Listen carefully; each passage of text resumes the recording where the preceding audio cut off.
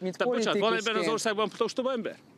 Én nem, Van ebben az tartok, országban ostoba ember? én nem tartok senkit ostobának. Senki. Tehát ön szerint nincs ebben az országban ostoba ember? Én nem, hát nem szeretnék megbélyegezni De senkit. nincs egy se. Nincs én, ostoba ember. Én nem tartom senkiről azt, hogy ostoba, meg nem is De szoktam nem az a kérdés, van ostoba. ostoba ember, vagy nincs Szerintem ostoba ember? nincs, vagy én nem Nincs. tartom Jó, annak köszönöm őket. szépen. Ezt kérem rögzítsék, adják le.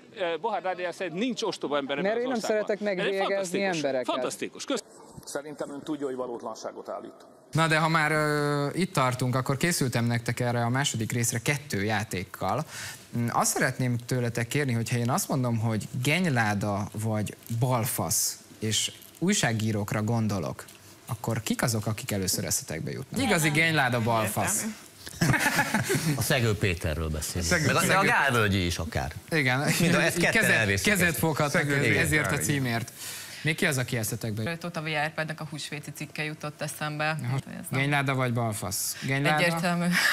Nekem a kedvencem, hogyha én is mondhatok egy személyest, Miklósi Gábor. Úgyhogy szerintem az igazi loser balfasz. Na, ugyanez lenne a kérdésem, ez a genyláda balfasz kategorizálás, milyen kedvesek vagyunk így szilveszter alkalmával, és politikusokra vetítve.